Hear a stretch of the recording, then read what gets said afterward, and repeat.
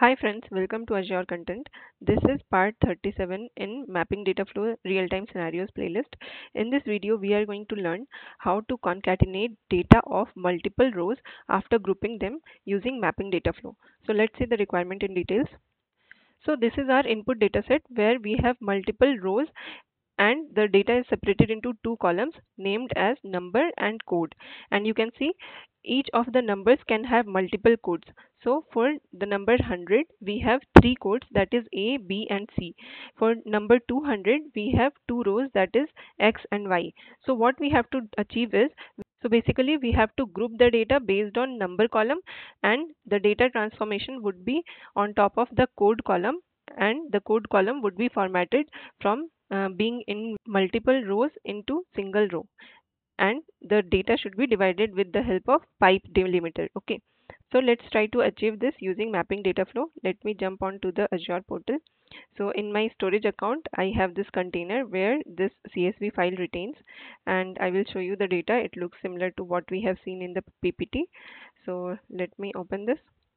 So you can see we have five rows and uh, for the number 100 we have three set of codes and for the number 200 we have two set of codes that is x and y. So let's jump on to creation of data flow. So i have already turned on this data flow debug option so that we can preview the data during creation of the data flow. Okay. So let me try to add source. Let me zoom it a little bit. Okay. Yeah.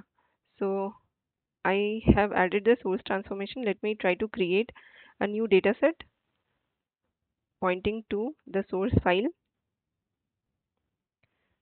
So I'll select the container which contains the CSV file and inside this root folder we have the data in concatdata.csv.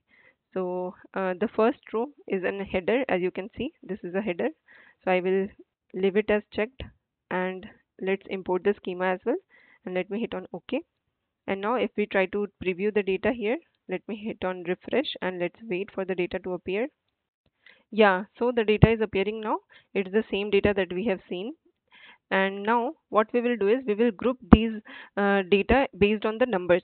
So we should be expecting only two rows based on grouping of the number column. Okay, so to group by, we will be using aggregate function and here we get the option to group by based on the column that we need.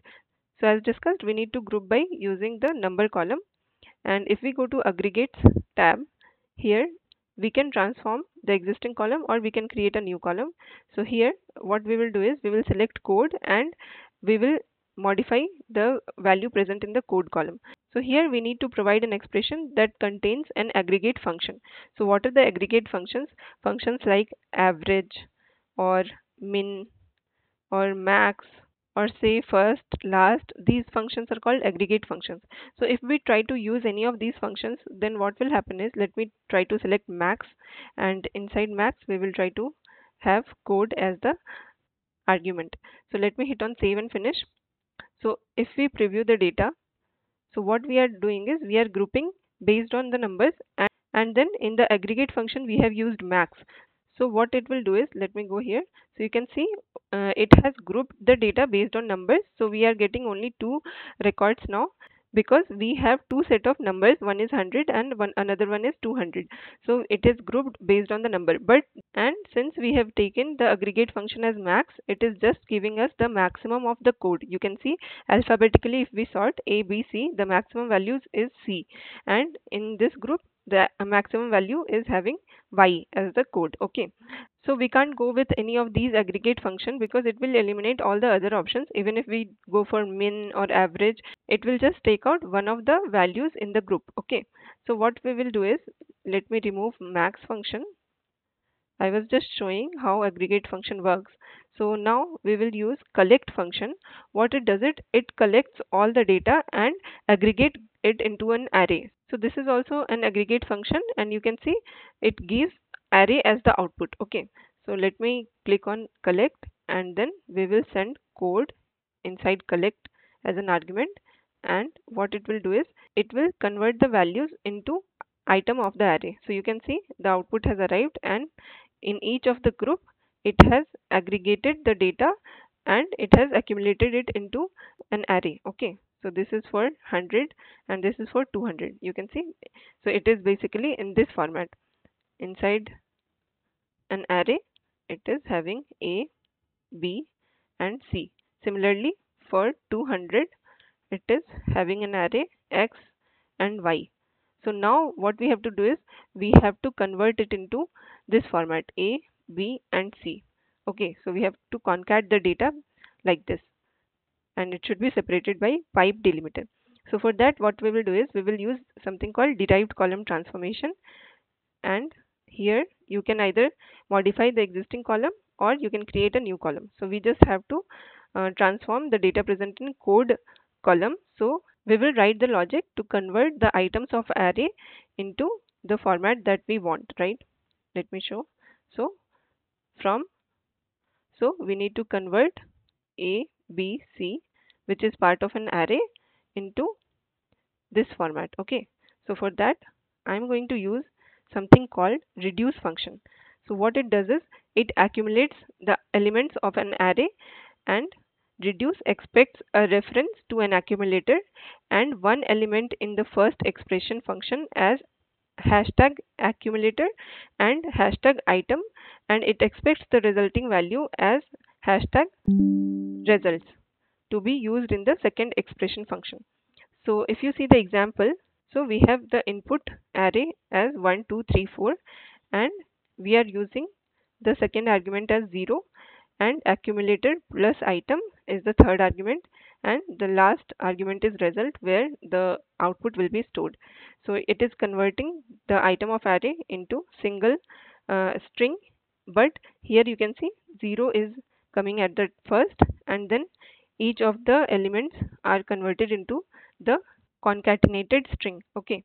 So we will try to use this function. Let's copy the example and on top of this expression we will modify it and we will use our expression. So instead of this array i will just remove this array which is hard coded we will just provide the array present in code column. So here we are just directly giving this column name and we don't want 0 to be coming as the prefix so I'm just removing it. It will be blank. And then accumulator plus item. This is the default value and the result. Okay so let's try to see what is coming with the help of this expression. Then we will modify further. Okay so let's preview the data. So you can see uh, this was the input which was present as an array and these were the items of array and now the output is coming like abc okay? So now what we have to do is we have to add a pipe symbol right? So what i will do is after each of the accumulator we will add a pipe symbol. So here i will give single quotes and then plus okay and here we will add the pipe symbol. So now if i hit on refresh let's see if it is giving expected result or not so you can see it has actually divided the uh, alphabets with pipe symbol but we are expecting in the starting it should not have any pipe symbol but it is coming as the output. So what we will do is we will use something called ltrim function. So let me search here. We will be getting something called ltrim which will be trimming down the the string from the left side. Okay so you can see this example.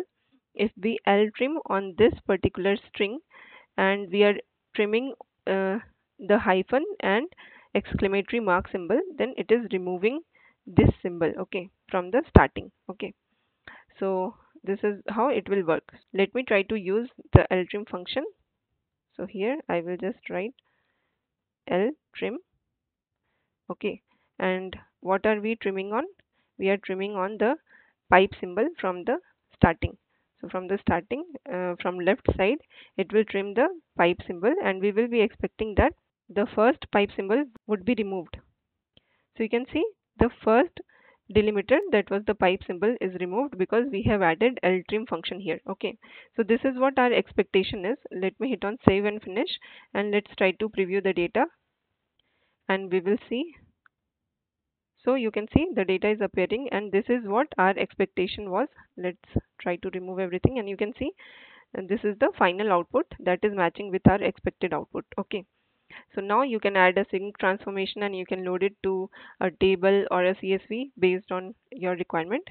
So we have achieved this with the help of two transformations. One is aggregate in order to group the number column and while grouping we have also used collect function in order to convert the rows into items of array and then we have used derived column transformation to convert the array into this format using reduce function.